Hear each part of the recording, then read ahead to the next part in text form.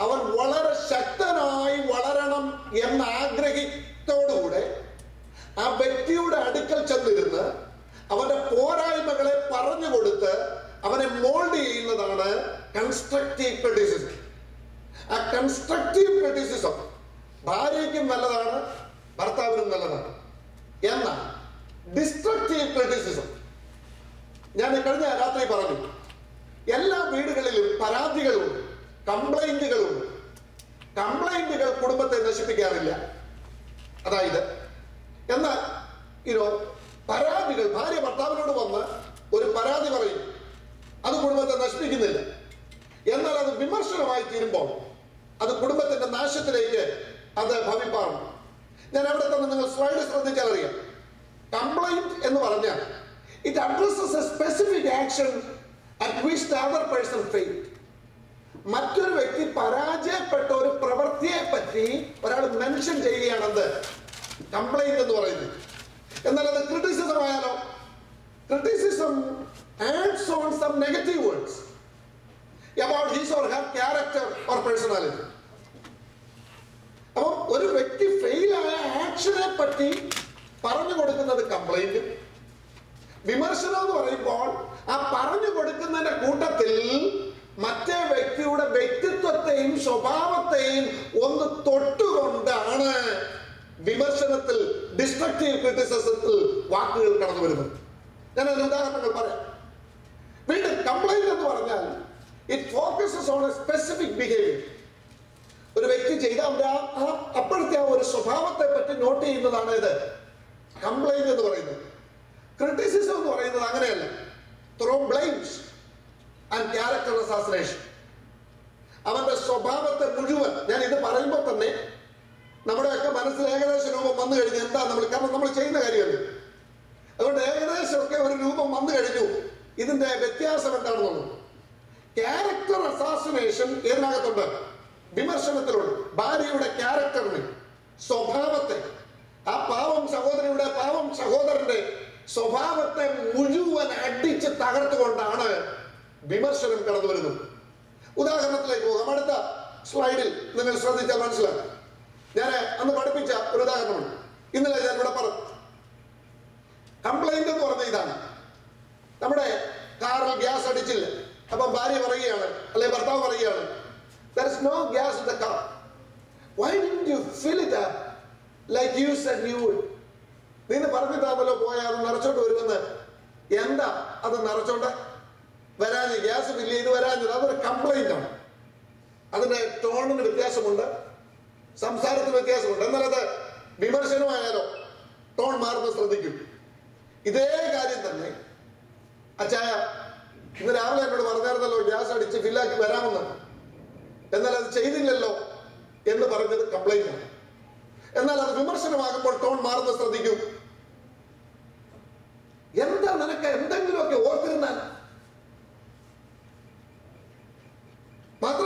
Told you thousand times ആയിരം വട്ടം പറഞ്ഞിട്ടുണ്ട്. എന്താ? ഗ്യാസ് തീർന്ന ഗ്യാസ് തീർന്നോട്ടെ വീട്ടിൽ വരാം. സെയിം കാര്യമല്ലേ പറഞ്ഞു അപ്പൊ ആദ്യത്തതിൽ പറഞ്ഞു ചായ രാവിലെ പോയപ്പോ അല്ലേ?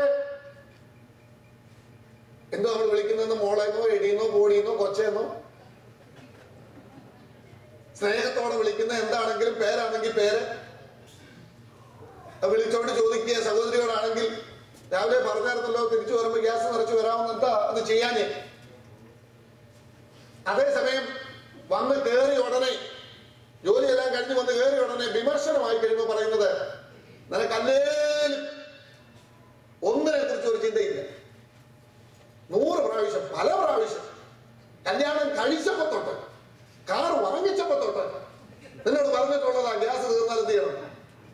അപ്പൊ ദാറ്റ് ബിക്കംസ് ആൻ ഓർഡർ അവളുടെ സ്വഭാവത്തെയാണ് നമ്മൾ തൊട്ടേക്കുന്നത്. അല്ലെ അവളുടെ സ്വഭാവത്തെ. എന്ന് പറഞ്ഞാൽ നിന്നെ എത്ര പഠിപ്പിച്ച നമ്മൾ നാട്ടിൽ പറയുന്നില്ലേ പന്തിരാണ്ട് കുഴലിൽ കിടന്നാലും നേരെ ആകാൻ പോകുന്നില്ല നിന്റെ സ്വഭാവമാണ് ആ ഒരു ടോണാണ് നമ്മൾ ഏതിൽ പറയുന്നത്? വിമർശനത്തിൽ പറയുന്നത്. അത് കേൾക്കാൻ ഒരു മനുഷ്യനും ഇഷ്ടമില്ല. ഈ പറയുന്ന ആളിനോട് അത് ഭർത്താവായാലും ഭാര്യയായാലും തിരിച്ചു പറഞ്ഞാൽ ബോംബ് പൊട്ടിക്കുന്നവരാണ് തിരിച്ചിട്ട് അങ്ങോട്ട് കാച്ചുന്നത് അപ്പൊ അത് ഒരു മനുഷ്യനും അത് ഇഷ്ടമല്ല. മാത്രമല്ല ഭാര്യ ഭർത്താവിനോട് പറയുകയാണെന്ന് കൂട്ടിക്കോ അറിയാതെ ഈനോ കൂട്ടുകാരെ ചെന്ന് വീട്ടിലേക്ക് ഡിന്നറിന് വിളിച്ചു ഭർത്താവ്. ഉണ്ട് ഇന്ന് വൈകിട്ട് നമുക്ക് ഒരുമിച്ച് വീട്ടിൽ വന്ന് കഴിക്കാം. വരുമെന്ന് വിചാരിച്ച് വിളിച്ചതല്ല സ്നേഹത്തിൽ വിളിച്ചത്. അവർ പറഞ്ഞു ഓക്കെ എന്നാ പിന്നെ ആയിക്കോട്ടോ.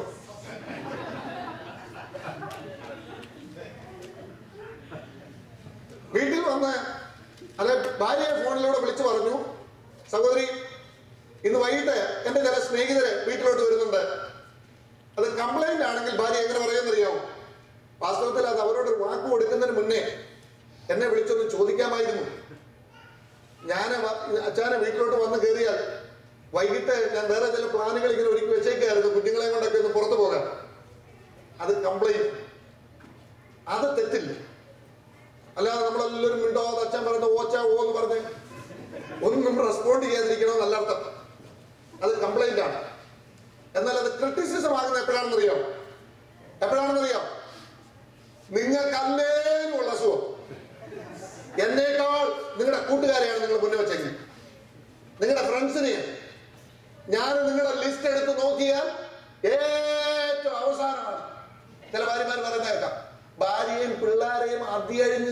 സ്നേഹിക്കുന്ന ഭർത്താവിനോടും പറഞ്ഞ് പിടിപ്പിക്കുകയാണ്. എന്താണെന്ന് അറിയോ അല്ലെങ്കിൽ നിങ്ങൾക്ക് എന്റെയും കൊച്ചുങ്ങളുടെയും കാര്യം. ഇത് രണ്ട് പ്രാവശ്യം കേൾക്കുമ്പോൾ ഒരു ചൊറിച്ചിൽ ഏത് നല്ല ഭർത്താവിനുണ്ടാക്കും? അല്ലെങ്കിൽ ഏത് നല്ല ഭാര്യയ്ക്കും ഉണ്ടാകും എന്നാലും ചൊറിച്ചിൽ നിർത്തത്തില്ല അപ്പൊ ചുരുക്കി പറഞ്ഞ ഈ ഡിവോഴ്സിലൊക്കെ ഒക്കെ പോകുന്നതിന് മുമ്പേ ഇതൊക്കെയാ വീട്ടിൽ നടക്കുന്നത് ഡിവോഴ്സ് തെറ്റാണെന്ന് തിരുവചനത്തിന്റെ ആധികാരികതയിൽ നമ്മൾ പഠിച്ചു. വിവാഹം സെയിം സെക്സ് തമ്മിലുള്ള വിവാഹം നരകത്തിൽ പോകാനുള്ള ഷോർട്ട് കട്ട് ആണെന്ന് വളരെ ക്ലിയർ ആയിട്ട് നമ്മളിവിടെ പഠിച്ചു. അംഗീകരിക്കുന്നില്ലെന്ന് ഡിവോഴ്സിനായി ഇനിഷ്യേറ്റീവ് എടുക്കുന്നവൻ ദൈവത്തിന്റെ തേജസ്സിനെ തന്നെ ചോദ്യം ചെയ്യുകയാണ്. ദൈവത്തിന്റെ പർപ്പസിനെ ചോദ്യം ചെയ്യുകയാണ് തിരുവനന്തപുരം അടിസ്ഥാനത്തിൽ നമ്മൾ പഠിച്ചു. സ്ട്രോങ് ആയിട്ട് ഈ ദിവസം പഠിക്കാനായിട്ടില്ലേ എന്നാൽ ആ ഡിവോഴ്സിലേക്കൊക്കെ കടക്കുന്നതിന് മുമ്പേ ഇതൊക്കെയാണ് വീട്ടിൽ നടക്കുന്നത്. ഞാൻ ചോദിക്കട്ടെ നമ്മൾ ഭാര്യ നന്നായിട്ട് വീട് നോക്കണമെന്നും ഒരു പോരായ്മയും വീട്ടിൽ വരരുതെന്നും ആഗ്രഹിച്ച് എപ്പോഴും പ്രവർത്തിക്കുന്ന ഒരു ഭാര്യയോട് ഭർത്താവ് വിമർശന ബുദ്ധിയോട് അവിടെ സ്വഭാവത്തെ മുഴുവൻ ചോദ്യം ചെയ്ത് അവളെ കളിയാക്കി മാത്രമേ സംസാരിക്കത്തുള്ളെങ്കിൽ അല്പസമയം കഴിയുമ്പോൾ അവൾ തിരിച്ച് റെസ്പോണ്ട് ചെയ്തു. എന്നാൽ നിങ്ങൾ ശ്രദ്ധിക്കുക ഈ വിമർശകർക്കുള്ള ജോലി എന്ന് പറഞ്ഞാൽ ഏതെങ്കിലും ഒരു ഹാബിറ്റ് ആണെങ്കിൽ വിമർശിക്കുന്ന ഭർത്താവായാലും ഭാര്യയായാലും ഒരു ഹാബിറ്റ് ആണെങ്കിൽ എപ്പോഴും വിമർശിച്ചുകൊണ്ടേയിരിക്കും അത് നിങ്ങൾ നല്ലത് ചെയ്താലും പറഞ്ഞത് ചെയ്താലും അത് എവിടെയും വിമർശകരുടെ ജോലി അതാണ്. ഒരു സ്റ്റോറി കേട്ടിട്ടുണ്ട്. പണ്ട് ഒരു അപ്പനും മോനും കൂടെ തങ്ങൾ യാത്രക്കായി ഉപയോഗിക്കുന്ന കഴുതയുമായി പോവുകയാണ് പോകുമ്പോൾ ഈ അപ്പൻ അതിന്റെ മുകളിൽ കയറി നിന്ന് യാത്ര ചെയ്യുന്നു. മോന് നടന്ന് പുറകെ പോകുന്നു. അപ്പോൾ ഒരുത്തന് വിമർശിച്ചു. പാവം ആ കൊച്ചനെ ഇട്ട് നടത്തിച്ചോണ്ട് ആ തന്ത കയറി നിന്ന് പോകുന്ന പോക്ക് കണ്ടില്ലേ? ഇത് രണ്ടുപേര് പറഞ്ഞപ്പോഴത്തേക്ക് വിമർശനത്തിന്റെ ആ ഇനോ ഈ നല്ല പിതാവ് താഴെ ഇറങ്ങി താഴെ ഇറങ്ങിയിട്ട് മോനെ കയറ്റിയത് കൊച്ചനെ ഇങ്ങനെ നടന്നിങ്ങോട്ട് പോകുമ്പോ ഇത് കണ്ടോണ്ട് ഒരുത്തൻ വിളിച്ചു പറയുക ആ പാവം തന്തയിട്ട് നടത്തിച്ചോണ്ട് അവൻ കയറി നിന്ന് ഗമയിൽ പോകുന്ന പോക്ക് കണ്ടില്ലേ ചുരുക്കി പറഞ്ഞാൽ വിമർശനം മൂത്തപ്പോ. എവര് വിചാരിച്ചു? എന്നാ പിന്നെ ഒരു കാര്യം ചെയ്യാം. രണ്ടുപേരോടെ കയറിയിരിക്കുക അപ്പനും മോനും കൂടെ കയറിയിരിക്കുന്ന പോകാൻ തുടങ്ങി. വിമർശനത്തോടുകൂടെ ഈ സഹോദരം പറയാൻ തുടങ്ങി ഈ പ്രിയപ്പെട്ടവർ പറയാൻ തുടങ്ങി. പാവം ആ ബലഹീനയായ കഴുതെ രണ്ടെണ്ണം കൂടെ എത്ര വെയിറ്റ് ആണ് ചുമക്കേണ്ടത്? പാവം ഈ കഴുത. വിമർശനം മൂത്ത് മൂത്ത് മൂത്ത് ലാസ്റ്റിൽ ഈ അപ്പൻ കഴുതയെ ചുമന്നുകൊണ്ട് നടന്ന ഒരു കഥ. അപ്പൊ വിമർശകരുടെ വാക്ക് കേട്ട് വിമർശ ഡിസ്ട്രക്റ്റീവ് ക്രിറ്റിസിസത്തിന് ചെവി കൊടുക്കുക പോലും ചെയ്യാൻ പാടില്ല. ഡിസ്ട്രക്റ്റീവ് ക്രിറ്റിസിസം ഏത് വ്യക്തിയെയും തകർക്കുന്നതാണ്. അത് ഈ